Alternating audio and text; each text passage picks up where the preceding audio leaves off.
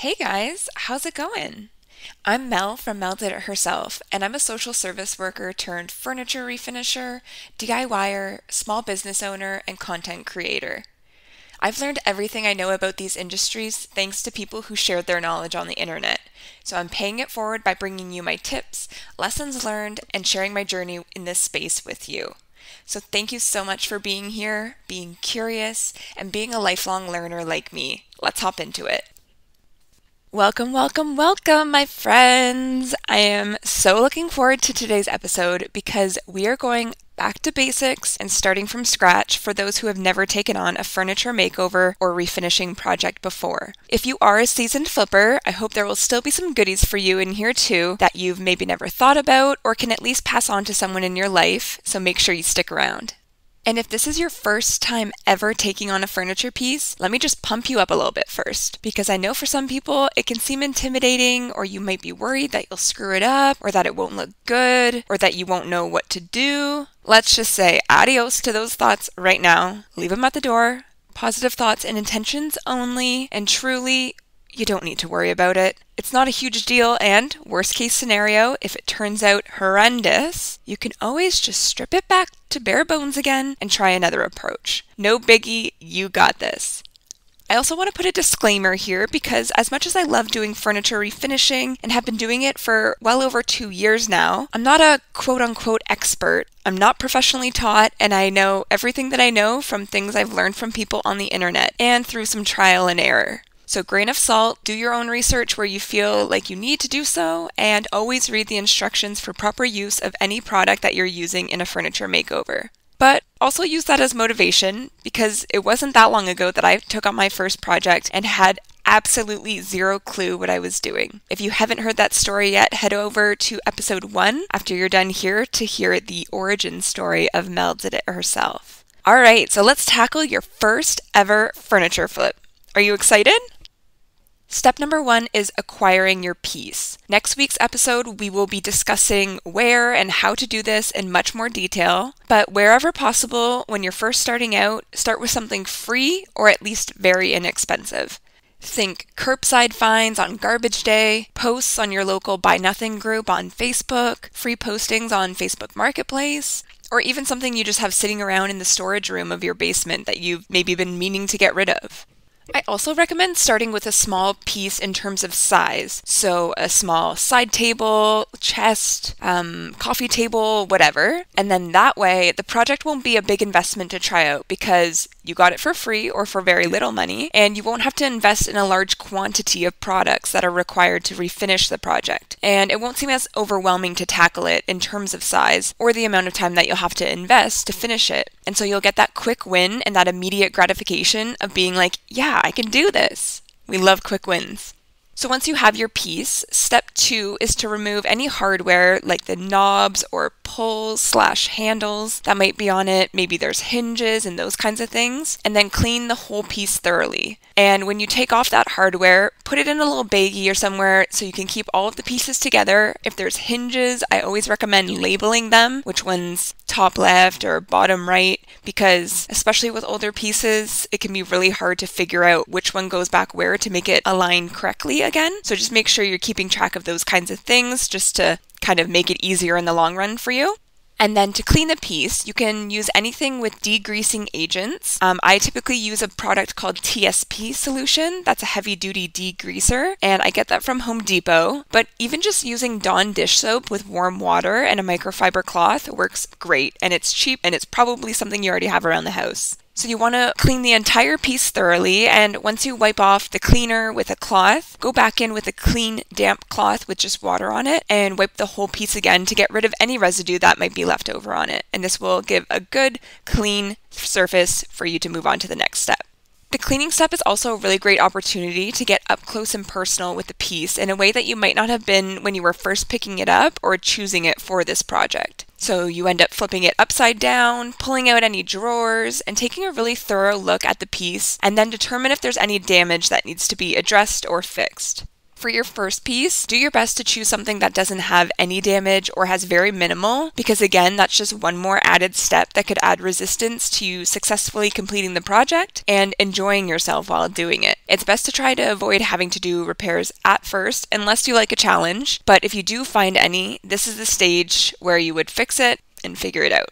So, step three is plan out your design and don't be scared about trying out something that you might not be able to do. Remember that you can always take it off and start from scratch if it doesn't turn out the way that you had envisioned. Again, nothing is permanent, and this is why we start with a small, inexpensive piece so that you don't go into it with fear and just dreading failure. Sometimes you might not know right away what direction that you want to take with a piece, so sometimes getting into this cleaning and prep stage allows you to spend more time with the piece before having to make those decisions to get a feel for it. However, I do know that some people like to do this designing stage before they start doing anything on a piece, so you can work this in kind of wherever feels best for you. Some people look at a piece and it just speaks to them and they know immediately what they want to do for, like with it or for it, and that's even better because then you can just roll with it and you don't have to spend too much time. But essentially, in this design phase, you're going to want to think about things like do I want to paint this piece? If so, what color? Do I want to stain this piece?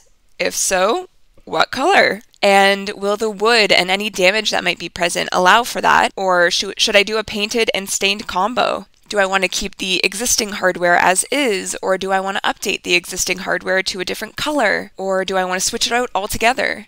If I do want to switch it out altogether, am I going to have to do any patching of the existing holes? All of these things are important to think about before you dive into the project. But also, sometimes I don't know what direction I want to take with the hardware until everything else is done. So don't beat yourself up if you don't know exactly what you want to do right off the bat. Sometimes it's easier to see it once it all starts coming together and then you get inspired. And sometimes, if I really can't visualize it in my head how a piece is going to look with a certain design that I have kind of brewing in my head, um, I'll use Canva or another similar app or functionality to create a mood board type of thing with a before photo of the furniture piece, a swatch that I find online of the paint color that I'm thinking of using, and then a photo of the hardware that I'm thinking of. This kind of helps me get a visual representation of what it will all look like when it comes together, sort of at least, because usually the colors differ a little bit in person as compared to how they look online, but it's handy if you're more of a visual person like me. Another good thing to use is something like PowerPoint or Google Slides, just something that allows you to quickly bring in, import those photos, and just kind of move them around and switch them out until it feels right. So, moving on to step number four, this involves prepping the piece. So, if you're planning on painting the piece, you will need to scuff sand with a high grit sandpaper. And if you don't know what high grit means, basically the numbers that you see on sandpaper packaging refers to the grit level. So the lower the number, the rougher the grit. So the more that it will really just eat away at that finish. And then the higher the grit, the smoother it is. And the more it just kind of evens out that top surface of the finish just to smooth it out. For scuff sanding, I choose usually around 220 grit, but the goal here is basically you don't want to fully strip the piece down to its naked or bare state, but you want to get rid of any glossy finish or top coat that might be on there to get to the layer beneath it. Um, so you can do this by hand or with an electric sander if you have one. Either will work. One will obviously just require more effort, but honestly, it is a great arm workout. And I personally recommend scuff sanding any piece you plan on painting just to be on the safe side because it does help the paint that you will be putting on the piece to adhere better. Though I know for marketing purposes some paints say that no prep is required, just just do it.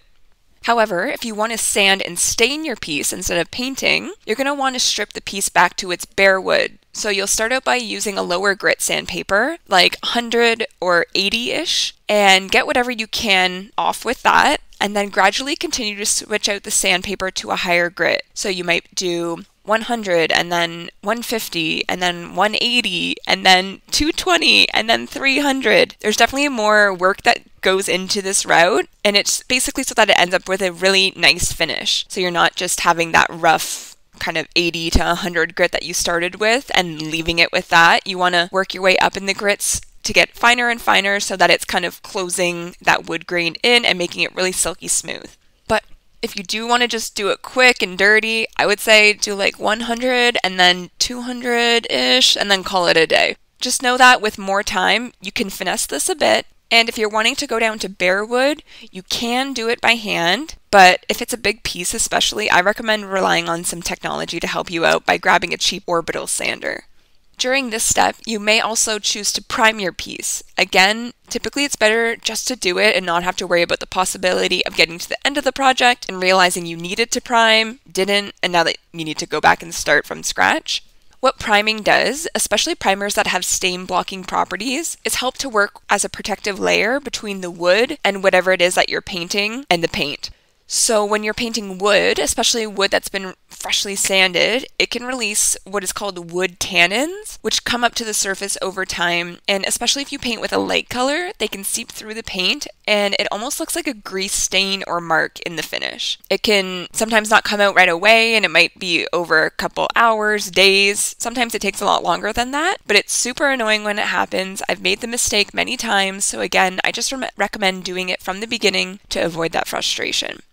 And as an aside, for whatever products you choose to use for your furniture makeover, again, just make sure that you're reading the directions for the proper prep and use of them because the directions will always let you know how to make the product perform to its fullest. The next step, step five, is either staining or painting your piece. So, we will discuss more in detail how to hand paint effectively in up- upcoming podcast episodes, but multiple thin, light coats are generally the way to do it instead of trying to get full coverage right away. Also, if you're painting wood or something made to emulate the look of wood, always paint in the direction of the wood grain and it will give you the best finish. So if you see the wood grain going left to right, that's the direction that you're going to paint with your paintbrush. And if you're staining, it's always best to use a wood conditioner prior to staining to get the best, most even finish. Again, I'll discuss more in depth in upcoming episodes how to stain, the different types out there, and all that other fun stuff. And as you tackle this part of the process, I want to remind you that it doesn't have to be perfect. And the only way that you're going to get closer to it being perfect, or as close to perfect as we can get, is by practicing and being open to learning. So read the directions. If it makes you feel better, look up some tutorials on YouTube and just jump into it. Taking on this first project will give you an idea of what the process is like, which steps need to be done, and in what order, and then in time, you can start researching specific things within each step to help you fine tune. For example, how to get the smoothest looking finish when you're hand painting. So, after you let it dry, make sure that you take a look at the directions on the product you're using. Am I sounding like a broken record yet? And read what the ideal recoating time is. Some products have very specific instructions depending on their properties, so you might be able to add a second coat after something like two hours, or you might have to add a second coat within the hour or only after 48 hours. So it can vary a ton. So use those directions as a map leading you through the project. And then add on as many coats as you need until you get the desired look or level of opaqueness.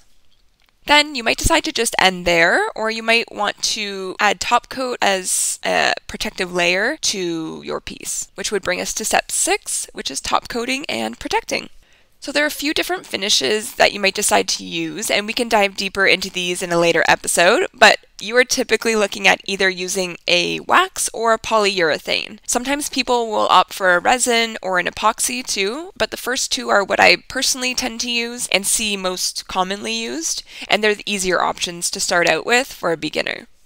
For protecting high traffic areas and pieces that will get a lot of use, such as tabletops, dresser tops, and nightstands, I recommend using a polyurethane, or a poly as it's commonly referred to, because it provides a more protective layer than just a waxwood. Again, read the directions on your product because there's a lot of different considerations in terms of recoat times and cleanup, depending on if it's a water based poly or an oil based poly.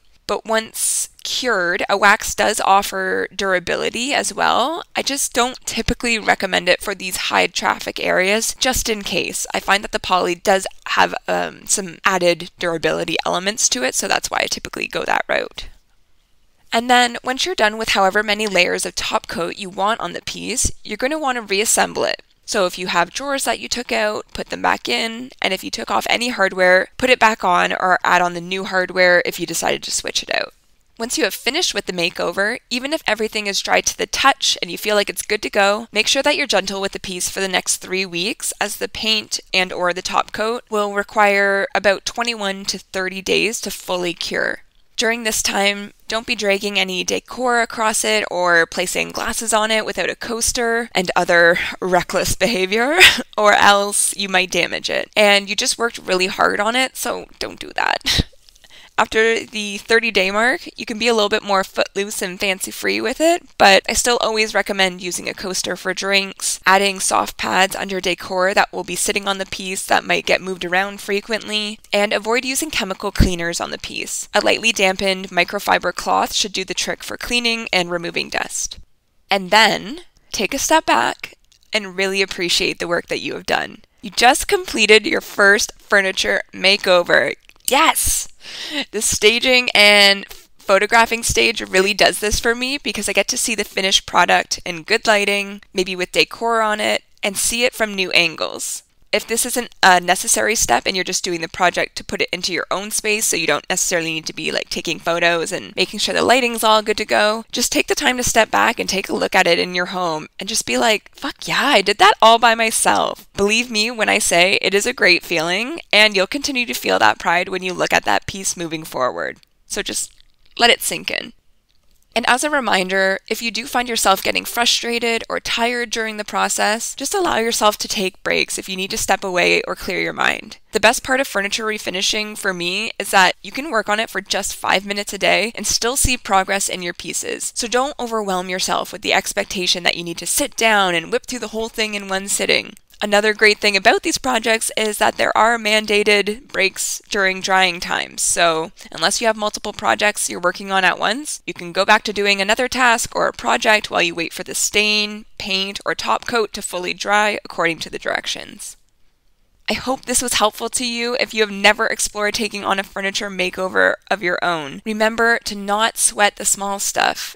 You will get better in time, and we all had to start somewhere. If you're feeling inspired to take on your first project, come let me know what it is and what your plan for it is. I always love when my community shares their projects and the process with me, and I'm honestly always amazed and so proud of them when they show me the final amazing product. And if you are someone who has already tackled a makeover before, I want to know what was your first furniture project? Honestly, how did it go? And how great did you feel afterwards? Head on over to my Instagram at Mel Did It Herself and find the post for episode number four, refinishing your first furniture piece, and let me know in the comments. Like I mentioned before, I talk about the questionable approach that I took for my first project, and that ended up working out in the end in episode one, which I will link in the show notes below. And something you may not know about me I love little motivational messages. They literally always get me fired up, and I keep a running list of ones that are especially catchy or speak to me in the Notes app on my phone. So I'm going to end every podcast episode with one of those that I have noted down over the years in hopes that you leave our time here each week feeling inspired, motivated, and ready to take on whatever comes your way this week. So this week's Mel's motivational message is you don't have to be great to start, but you have to start to be great. So remember that as you head into the next week, that starting and taking that first step is the only thing you need to tackle. As long as you decide to start and just take the next right step, you will eventually walk yourself into the greatness that I just know you have within you. Even if you can't see it right now, I see it, I'm here, and I'm cheering you on, my friend.